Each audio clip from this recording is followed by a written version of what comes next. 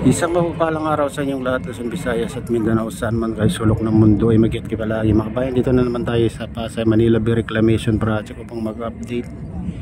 Ayan ito yung pinakamalapit isa sa pinakamalapit na island mga kabayan. Kunti na lang yung ano, natira dito. At uh, binawasan nila.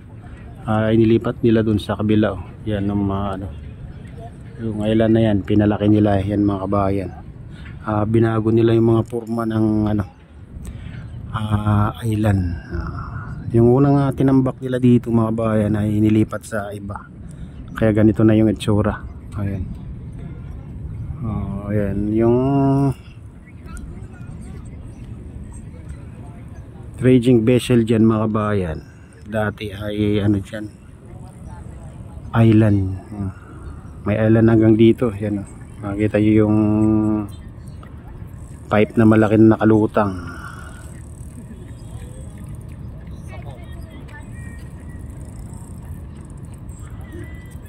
Ayan mga kabayan na kasalukuyan na ano yan oh, yung dredging vessel uh,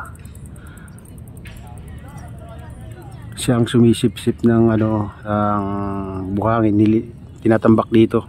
Ayan nandyan yung dulo mga kabayan dyan sa barko na maliit na yan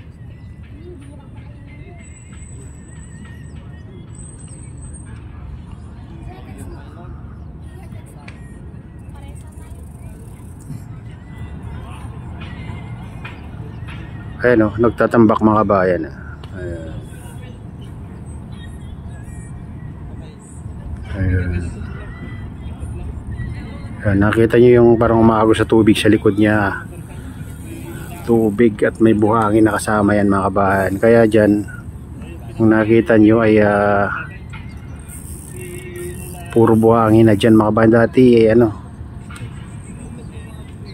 tubig hanggang dun no?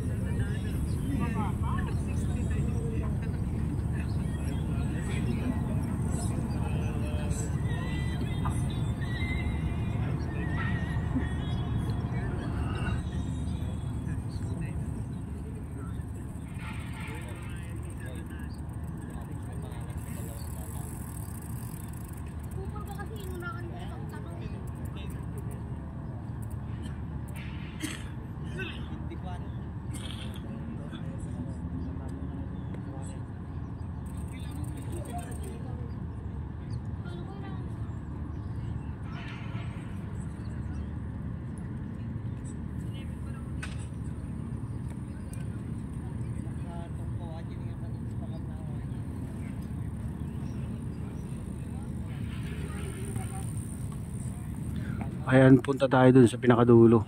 Tapat ng dulo ng SM mga bayan. Ayan, yung banda. Ayan, silipin natin yung uh, tambak dun. Tara na, samahan niyo ako.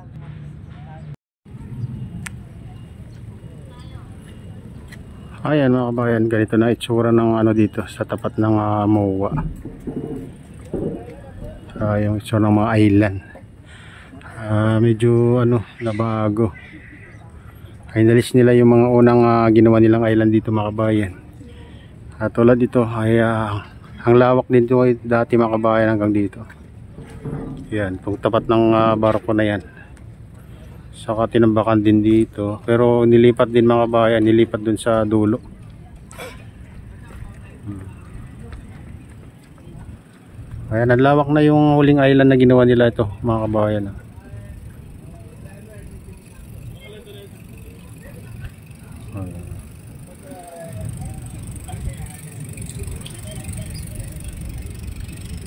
ayan. Kahaba mga kabayan hanggang dun. Oh. may bagong island na rin dun mga kabayan oh. uh, medyo malayo lang dito. Yan, sa ano ng barko. Parang nasa tapat na lang ano. Si malayo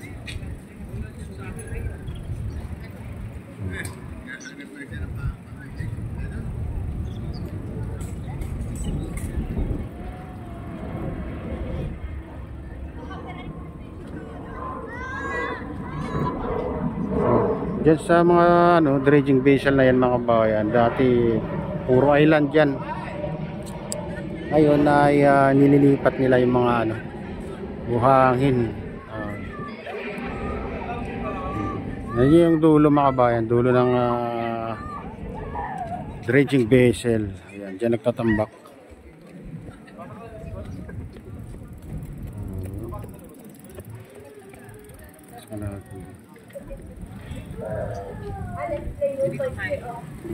Binalik, binalik yung Maricruz yung tulog niya.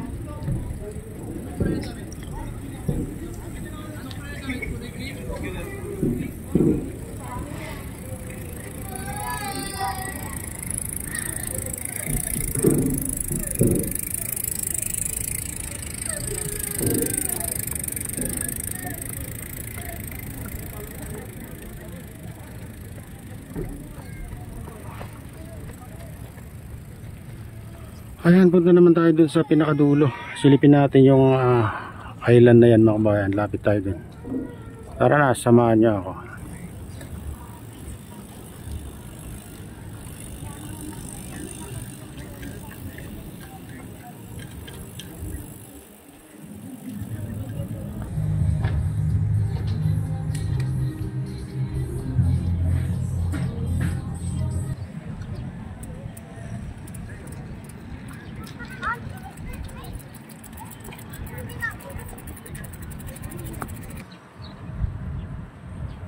Ayan, dito na tayo sa ano malapit na sa pinakadulo mga kabayan ng ah, tapat ng SM Olubisha. Ito yung island na ano, malaki na pala mga kabayan, no?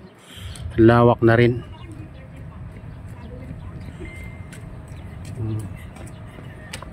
Ito na pala yung ano pinapalawak nila saka yung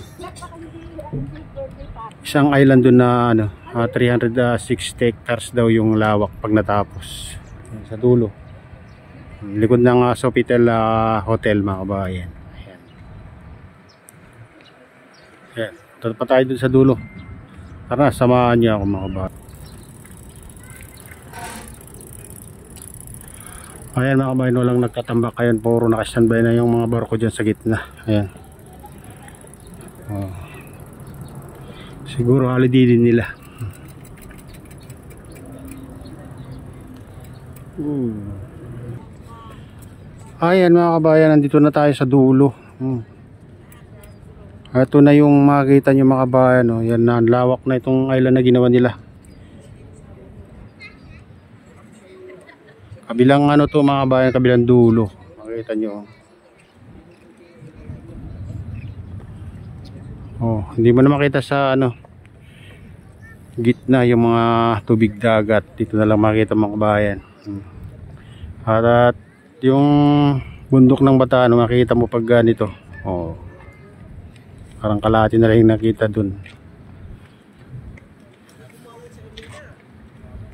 Oh yan. Yan punta pa tayo dun sa pinakadulo. Ah yan mga kabayan nandito na tayo sa pinakadulo kung tapat ng ano to uh, micro hotel. Ayan pinakadulo oh. ayan mga kabayan. Ayan micro hotel Dulong dulo na to mga kabayan. Kabilang dulo. Ito na yung mga ano dito. May naka standby na ano dyan. Puro naka standby na pala yung mga barko ngayon mga kabayan. Ayun. Oh, ito yung uh, back. Oh, naka standby. Oh, wala nga uh, nag-operate ngayon dito. Doon lang sa kabila mga kabayan yung uh, nagtatambak. May isa tayong nakakita kanina. Hmm. Ayan, ganito nakalawak mga kabayan yung tambak dito sa kabilang dulo. Hmm.